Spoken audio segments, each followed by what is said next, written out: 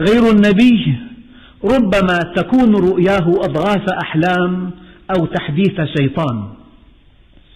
فإذا كان من الخطأ في المنهج اتخاذ الرؤى هاديا ودليلا يترسم به المرء طريقة ويتبصر به الحق فإن من الخطأ كذلك أن نسارع في تصديق كل ما يحكى لنا من الرؤى. هذه طرفة دخل أحدهم على رجل له مركز القرار. قال له رأيت النبي عليه الصلاة والسلام يسلم عليك ويأمرك أن يكون لي عندك عمل في وزارتك. فكان هذا الوزير ذكيا قال له أنت متى رأيت الرؤيا؟ قال له في الساعة الثانية عشر ليلا. قال إني رأيته في الساعة الرابعة يقول لي هذا كذاب لا تصدقه. معنى ذلك قضية ليس لها ضابط. كل إنسان قد يدعي رؤية لم تكن لها أصل. كان عليه الصلاة والسلام قبل النبوة لا يرى رؤية إلا جاءت مثل فلق الصبح. هو سيد الخلق. لا يرى رؤية إلا جاءت مثل فلق الصبح. وأما بعد النبوة فرؤياه صلى الله عليه وسلم وحي يوحى. رؤياه وحي يوحى. وهو المعصوم من تلاعب الشيطان والذي تنام عينه ولا ينام قلبه. ومع هذا كله فإليكم شاهدا من سيرته. وهذا أربطه بمطلع الخطبة السابقة إن سيرته صلى الله عليه وسلم منهج كامل. أما الشاهد فإنه لما حشدت قريش رجالها وخرجت في غزوة أحد لتسأر لقتلاها في بدر استشار النبي عليه الصلاة والسلام أصحابه أيخرج إليهم أم يمكث في المدينة؟ لأن الله عز وجل أمره. فقال وشاورهم في الأمر. مشاورة أصحابه منهج. وأمر إلهي. وكل أمر إلهي يقتضي الوجوب. استشار النبي عليه الصلاة والسلام أصحابه. أيخرج إليهم أم يمكث في المدينة؟ وأخبرهم أنه رأى رؤيا وما رؤياه إلا من الوحي. رؤيا النبي وحي. قال يا بني إني أرى في المنام أني أذبحك. قال يا أبت افعل ما تؤمر. ورأى رؤيا ملخصها. قال رأيت بقرا تنحر ورأيت في ذباب سيفي ثلما ورأيت أني قد أدخلت يدي في درع حصينة. فتأول عليه الصلاة والسلام البقرة بنفر من أصحابه يقتلون وتأول الثلمة في سيفه برجل يصاب من أهل بيته وتأول الدرع بالمدينة. استشارهم وعرض عليهم رؤياه ورؤياه وحي. فكان رأيه ألا يخرجوا من المدينة. وأن يتحصنوا بها. فإن دخلها المشركون قاتلهم المسلمون على أفواه الأزقة والنساء من فوق البيوت. فبادر جماعة من فضلاء الصحابة ممن فاته الخروج يوم بدر وأشاروا عليه بالخروج وألحوا عليه في ذلك. وقال بعض الأنصار والله يا رسول الله ما دخلت علينا في الجاهلية المدينة؟ أفتدخل علينا في الإسلام؟ وأبى أكثرهم إلا الخروج. عرض عليهم رأيه وعرض عليهم رؤياه. فلما رأى النبي عليه الصلاة والسلام أن أكثرهم يريد الخروج قال عليه الصلاة والسلام فشأنكم إذا إذا نخرج. ثم نهض ودخل بيته ولبس لأمته أي درعه وخرج عليهم. فقالوا أكرهنا رسول الله صلى الله عليه وسلم على الخروج. يا رسول الله إن أحببت أن تمكث في المدينة فافعل. فقال عليه الصلاة والسلام وهو يعلمنا الآن ألا نتردد. التردد مرض. التردد آفة كبيرة. فقال عليه الصلاة والسلام ما ينبغي لنبي إذا لبس لأمته أن يضعها حتى يحكم الله بينه وبين عدوه وخرج أصحاب النبي إلى أحد ماذا فعل النبي؟ اعتمد المشورة ثباتا منه على المنهج الذي ارتضاه له ربه وترك العمل بإيحاء رؤياه تلك ودلالاتها فلم تسنه رؤياه عن الخروج للقتال ولم يغر بها. ترك رؤياه ونفذ مشورة أصحابه. إذا ما شأن الرؤيا في حياة المؤمن؟ بشارة أو إنذار. لا يمكن أن يبنى على الرؤيا حكم شرعي ولا موقف سلوكي ولا فعل أو ترك فعل. بشارة أو إنذار ليس غير. أيها الإخوة الكرام إنما دفع النبي للخروج مشورة أصحابه لما استشارهم ومشايعة منه لرغبتهم في الخروج وترك الرؤيا تدور مدار الإنذار والتبشير. إن الثبات الذي لم تصرفه الرؤيا عن التزام المنهج الصحيح والانقياد له هو الثبات الذي أثنى عليه النبي صلى الله عليه وسلم. وقد أثنى عليه القرآن فقال يثبت الله الذين آمنوا بالقول الثابت. القول الثابت القرآن. المنهج الثابت الذي لا يأتيه الباطل من بين يديه ولا من خلفه. هذا شاهد أول. ممن الرؤيا من سيد الخلق هي نوع من الوحي نوع من الأمر. ومع ذلك أخذ الأمر القرآني في قوله تعالى وشاورهم في الأمر وترك الرؤيا التي هي بمثابة وحي غير متلو.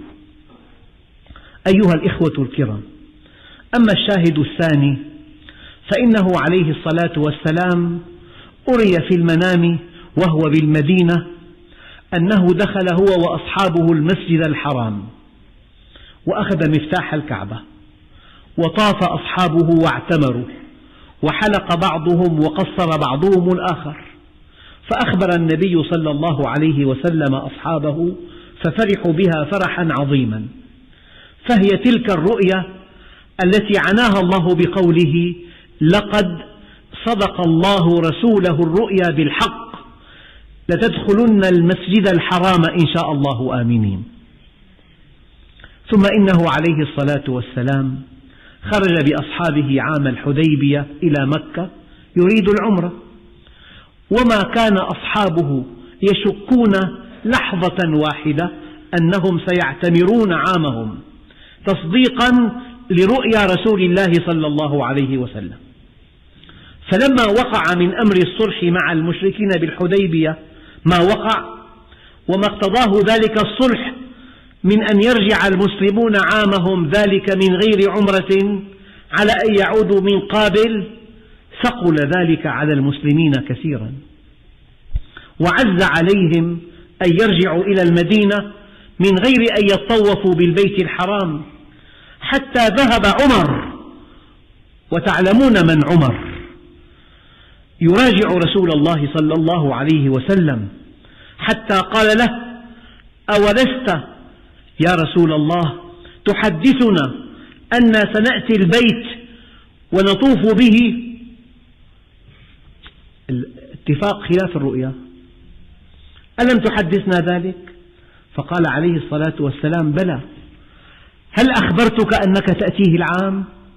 قال لا. قال فإنك آتيه ومطوف به.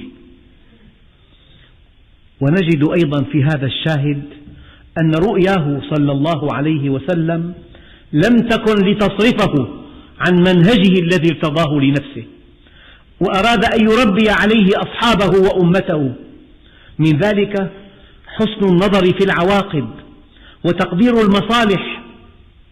فلما رأى النبي صلى الله عليه وسلم المصلحة في الصلح رضي به وانقاد له غير آبه بشيء من الرؤيا التي رآها ولم تكن الرؤيا همه ولم تكن غاية يسعى لتحقيقها ولم تكن أفعاله خاضعة لدلالتها ومقتضاها وإنما ترك تأويل رؤياه يأتي تباعا من الطريق الذي نهجه والتزم سلوكه. وهكذا أخذ النبي صلى الله عليه وسلم الرؤيا في حدودها ومكانها اللائق بها فهي عنده دققوا الآن فهي عنده مبشرة لا موجهة. تبشر ولا توجه. لا يمكن أن يبنى على الرؤيا موقف ولا حكم شرعي. بل إن الفقهاء يقولون من رأى رسول الله يأمره بخلاف منهج الله ترد الرؤيا ويثبت الشرع. ديننا دين منهج قويم دين حكم شرعي دين نص صحيح وليس دين كرامات ولا منامات. الكرامات بشارة بينك وبين الله يمنع أن تذكرها. يمنع أن تتحدى بها.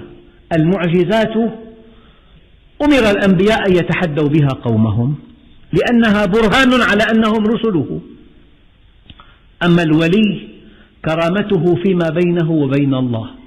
إشعار داخلي ممنوع أن تلقى على الملأ. ممنوع أن يتاجر بها. ممنوع أن تكون سببا لموقف أو لحكم شرعي.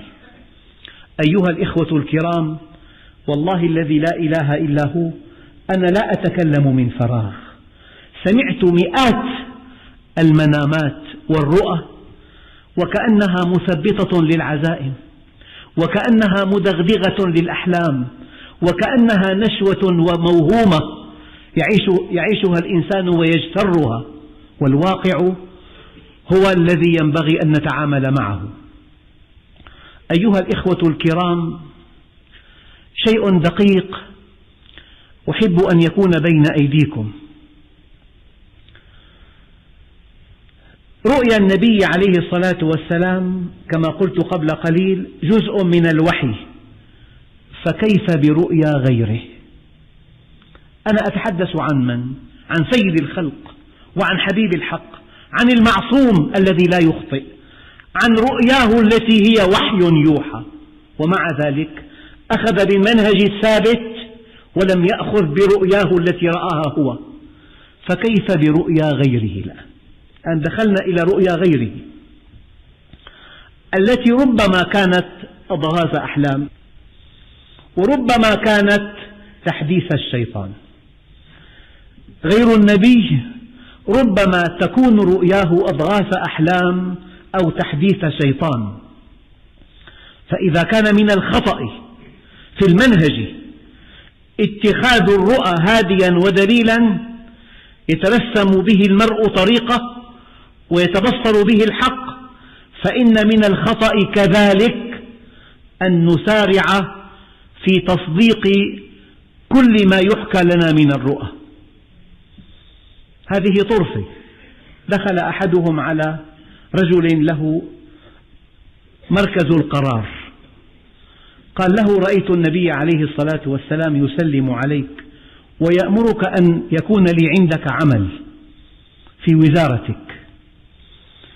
فكان هذا الوزير ذكيا قال له أنت متى رأيت الرؤيا؟ قال له في الساعة الثانية عشر ليلا. قال إني رأيته في الساعة الرابعة. يقول لي هذا كذاب لا تصدقه.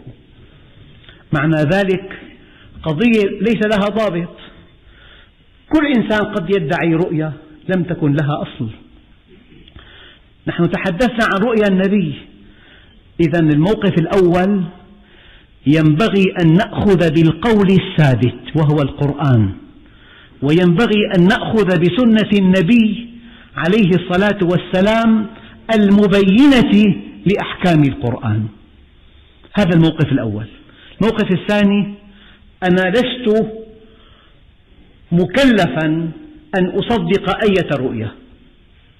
إلا ما ورد بها نص صريح في القرآن أو السنة. الموقف الثاني لا ينبغي أن أصدق أية رؤية. أنا ملزم بتصديق الرؤية التي وردت في القرآن أو في سنة النبي العدنان. وما سوى ذلك أصدق أو لا أصدق على مزاجي.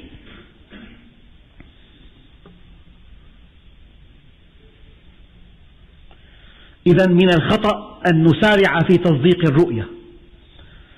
لذلك أصبح اشتغال الناس بالرؤى والأحلام وتأويلها أكثر من اشتغالهم بالعمل الذي يواجهون به حقائق الواقع الأليم.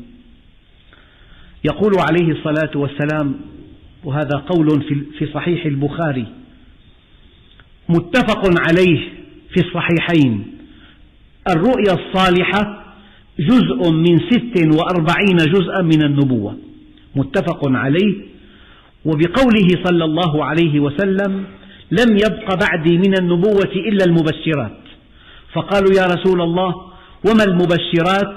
قال الرؤيا الصالحة يراها المؤمن أو ترى له. متفق عليه. لهذين الحديثين إن شاء الله موقع آخر في خطة أخرى.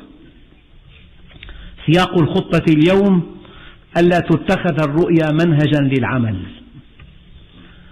أيها الإخوة الكرام قد نرتاب كثيرا في أن تكون كل المرويات من أحلام الناس اليوم هي من جملة الرؤى الصالحة المبشرة. قد تكون أوهاما وقد تكون حديثا للشيطان وقد تكون أضغاث أحلام. فثمة أمور أيها الإخوة تدفعنا للتريث كثيرا. وتصرفنا عن تصديق كل ما يروى من الأحلام وبما يحكى من تأويلها. الأمر الأول أن يكون المرء الذي نسبت إليه تلك الرؤيا كاذبا. أول احتمال أن تكون هذه الرؤيا كاذبة وليس هناك من دليل على تصديقها. فقد يتحلم المرء بحلم لم يره يتحلم يدعي يكذب بحلم لم يره وهذا احتمال وارد والوعيد في ذلك شديد يقول عليه الصلاة والسلام فيما رواه الإمام البخاري من تحلم بحلم لم يره كلف أن يعقد بين شعيرتين ولن يفعل. يعني كلف تعزيزا وكلف شيئا مستحيلا كما قال شيئا مستحيلا. من تحلم بحلم لم يره كلف أن يعقد بين شعيرتين ولن يفعل. ثم إننا إن فرضنا صحة الرؤيا وأن صاحبها صادق فثمة أمر آخر يرد عليها وهو كون ذلك الحلم من قبيل حديث النفس. الإنسان له حاجات قد لا تتحقق في عالم الواقع تتحقق في عقله الباطن في الليل فما حرم منه في النهار يراه في الليل. والدليل من نام في حالة عطش ماذا يرى في الليل؟ يرى يشرب الماء البارد يرى أمام شلال يرى. هذه كلها أحلام نابعة من حاجته إلى الماء. إن لم تكن هذه الرؤيا رؤيا من الله فهي من حديث النفس أو من حديث الشيطان. أيها الإخوة الكرام النبي عليه الصلاة والسلام أثبت في قوله صلى الله عليه وسلم الرؤيا ثلاث رؤيا صالحة بشرى من الله. ما قال منهج عمل بشرى. والرؤيا من تحزين الشيطان والرؤيا مما يحدث به الرجل نفسه. أخرجه الترمذي بسند صحيح. إما من الرحمن وإما من حديث النفس وإما تحزين من الشيطان. لو أننا سلمنا أن هذه الرؤيا من حديث النفس فثمة وارد يمنع أن تستخفنا هذه الرؤيا. فنسارع إلى تصديقها واستظهار الغيب بها. وهذا الوارد هو احتمال خطأ المعبر. الرؤيا صحيحة ليست من حديث النفس وليست من حديث الشيطان. رؤيا من الرحمن. من أنبأك أن هذا التأويل صحيح؟ التأويل اجتهادي والاجتهاد يخطئ ويصيب. والدليل رجل جاء النبي صلى الله عليه وسلم قال يا رسول الله إني رأيت رؤيا ثم قصها عليه في حديث طويل. فقال أبو بكر يا رسول الله بأبي أنت وأمي أتأذن لي أن أعبرها له؟ سيدنا الصديق ما طلعت شمس بعد رجل على رجل أفضل من أبي بكر فأذن له فعبرها ثم قال يا رسول الله أخبرني أصبت أم أخطأت؟ فقال عليه الصلاة والسلام أصبت بعضا وأخطأت بعضا. من هو؟ الصديق. الصديق أخطأ في تعبير الرؤيا. لو سلمنا أنها صحيحة مئة في المئة. قد يكون التعبير مخطئا. الإمام مالك رأى في المنام ملك الموت. قال له يا ملك الموت كم بقي لي من عمري؟ أشار إليه بأصابعه الخمس هكذا. فاستيقظ اشتد قلقه. أهي خمس سنوات؟ أم خمسة أشهر؟ أم خمسة أيام؟ أم خمس ساعات؟ أم خمس دقائق؟ ذهب إلى الإمام ابن سيرين فيما تروي القصص. قال يا إمام رأيت كذا وكذا. أخبرني. قال إن ملك الموت يقول لك إن هذا السؤال من خمسة أشياء لا يعلمها إلا الله. هو فهمها فهما مغلوطا وهو الإمام مالك. فجاء التأويل هذا السؤال الذي سألته ملك الموت من خمسة أسئلة لا يعلمها إلا الله. أيها الإخوة الكرام قد تكون الرؤيا من حديث النفس وقد تكون من حديث الشيطان وقد تكون رؤيا لكن صاحبها أخطأ في تعبيرها. ولا يمكن أن يبنى موقف ولا حكم شرعي على الرؤيا. أيها الإخوة الكرام هناك سنن أروي لكم بعضها. إن الله لا يغير ما بقوم حتى يغيروا ما بأنفسهم. ولا مليون رؤية تغير هذه الآية. آلاف الرؤى. رايات ورايات ونار تخرج من هنا وهنا وأحاديث ضعيفة تدغدغ عواطف الناس ويرتاحون لها. معنى النصر قريب. هم لا يعملون شيئا. إن الله لا يغير ما بقوم حتى يغيروا ما بأنفسهم. ولا مليون رؤية تغير هذا القانون. إن تنصروا الله ينصركم ويثبت أقدامكم. فإن لم ننصره ولا مليون رؤية تغير هذه الحقيقة. وإن تتولوا يستبدل قوما غيركم ثم لا يكونوا أمثالكم. ولا مليون رؤية تغير هذه الحقيقة. أيها الإخوة الكرام كن منهجيا.